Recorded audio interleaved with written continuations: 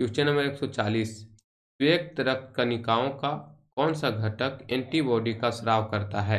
Option है Mona, monocytes, option B lymphocytes, option C granulocytes, and option D इनमें से सभी। तो दोस्तों स्वेक्त रक्त कणिकाओं को लिम्फोसाइटस घटक एंटीबॉडी का स्राव करता है, ठीक है? तो ऑप्शन नंबर बी हमारा सही आंसर होने वाला है।